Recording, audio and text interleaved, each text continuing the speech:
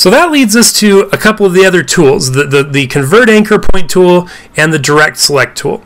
Let's talk first about the convert anchor point tool. I'm going to come here and I'm going to make four points and I'm just going to make a rectangle. So I did this just using the pen tool, clicking and no dragging. Let's say after I've finished making this, I realize that I need to create a curve on this upper right point. Well, I'm going to need to use my convert anchor point tool. So I can come over here and switch to it, or I can use the keyboard shortcut of Shift C. And when I click on that point, I can now click it and drag it and pull the handles out that weren't that weren't pulled out before. The handles all the way in mean just straight angle. So now I'm pulling these out and getting them to the position in which I want them. Now, let's say that I'm working on this here and I now want to adjust this curve. I want to adjust these handles. Well, I can use the direct select tool, come and click on that point, and the handles appear. And with the direct select tool, I can click the handles and I can adjust them. So you see how I can say, well, I want less of a curve down here, more of a curve up there. Now notice when I move the bottom handle, the top one moves too. And when I move the top handle, the bottom one moves too when I'm working with the direct select tool.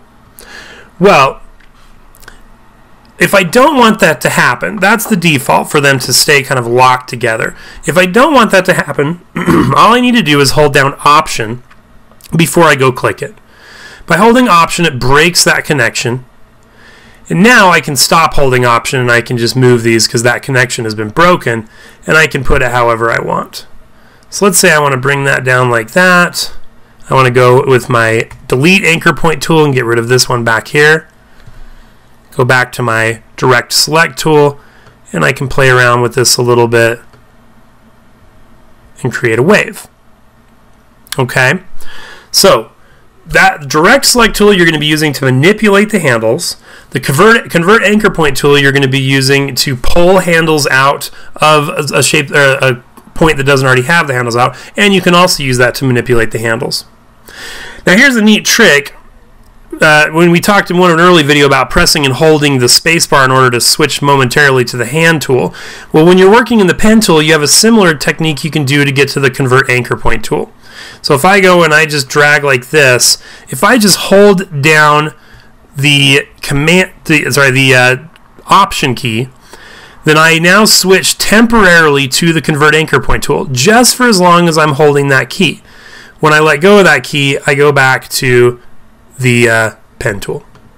Okay, so holding down the option key will switch us temporarily to the convert anchor point tool so we can make some adjustments if we want to with our corners.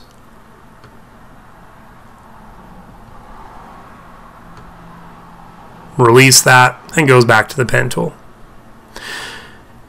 Now, another common thing that you may run into let's just say that I start working on a, a line with my pen tool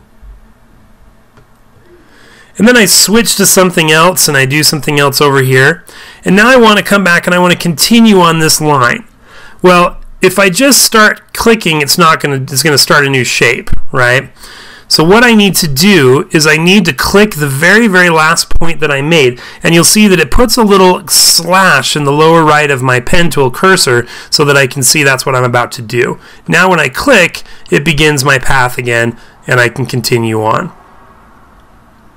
One more thing in working with handles, if I am working with the direct select tool and I want to adjust the handles, or even if I'm pulling out handles of the pen tool, if I hold down shift, it locks those handles to angles of 45 degrees.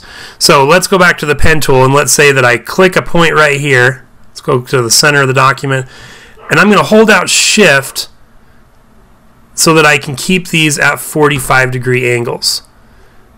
And this allows me to you know just add another level of precision to what I'm drawing.